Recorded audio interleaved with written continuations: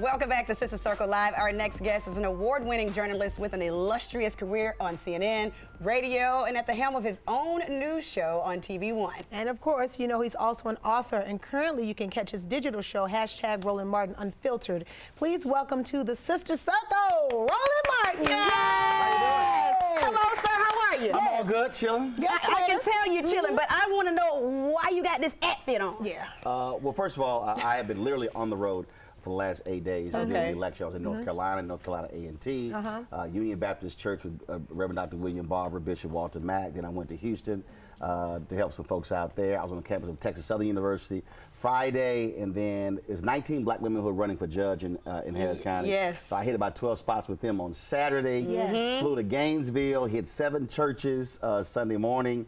Uh, then I chatted with Andrew Gillum while I was there. Yes. Spoke to the Gainesville NAACP that night. Atlanta here Monday, Ebenezer My Baptist God. Church for the prayer rally. Uh, and so, you know, the Bible says the harvest is plentiful, but the laborers are few. So you got to put on work clothes Yes, when you right. work. You're you can't always just be suited and booted in an ascot because you, know, you got to go out there. Right. gotta hit the streets. Absolutely. Yes, yes, you got to work. Absolutely. Of course, you are a very well respected journalist, but you never shy away from getting your stroll on. No. I As an wasn't. alpha man. That's right. I'm a life member. No, no, I'm a life member. Okay, but look at you right Uh-oh. here. Wait a yeah. minute, See, wait a I have to minute. hit him with that. So that's that's got so that when I was doing that, literally, I'm always dancing. I'm Yeah. always dancing. So when we dropped that, So you look uh, like you're alpha down to the baptism. Oh, come on.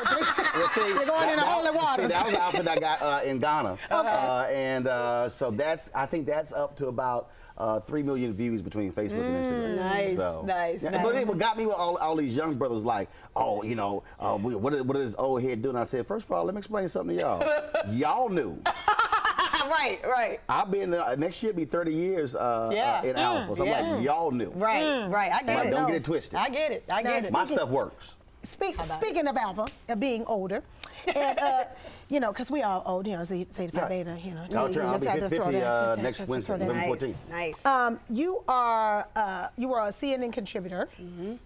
And this is so funny because I've always been on your show. But We've been on before the other that, side. I ran three black newspapers. You th- ran three black newspapers, but I'm just this is so cool because it's like now I get to interview you, and I've always been on your show. How True about that, that? true Yes, uh, but you're a contributor and senior analyst on the Time Morning Jour- Joyner Morning Yeah, Show. 10 years this year. Now, when did you know, Roland, that journalism was something that you knew that this is it? Right. This is what I want to do. This is who I want to be. 14 years So old. So in Houston, we have a we have about 30 plus uh, Magnet School of Communications. So I went Yeah. to Jack Yates High School, Magnet School of Communications. So I decided then. So I haven't changed in 36 years. Wow. Uh, it's always been media. So we had a television, with our own uh, television studio, radio studio, uh, newspaper as well.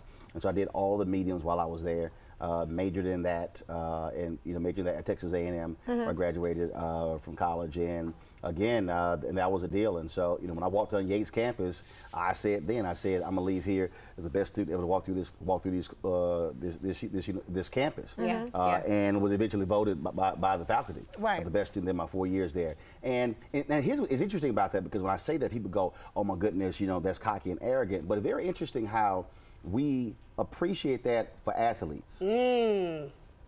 If an athlete says, I want to be one of the best at what I do, we say, oh man, that's can do it. dedication. But Right. if you in any other field, all of a sudden that's a bad thing. No, you should want to be the best at what you do. and you whatever do. you do, Right. whoever you are. Right, Absolutely. Right, and be able to do all of it. So Yeah. if you if you if you're LeBron, oh my God, he can shoot, he can pass, he can dribble, he can rebound. He's a coach on the floor, and so even in media, my deal was I want to learn all the facets of it. So Mm-hmm. even so even like last night, something happened, and so people are like, well, why are you setting the camera up? I'm going because I learned how to do this. Right, Right. right. Like I don't have to just say, well, you you, you do that. You know, you still you know you're still in a constant state Yes, of learning. of learning. And so even when we launched my digital show, uh, we had a meeting with one of my pr- production folks, and he said, uh, you, you actually know the technical stuff, the in front of the camera and the behind, how to stream. And I said, yes. I said, because if somebody lying to me, I can go.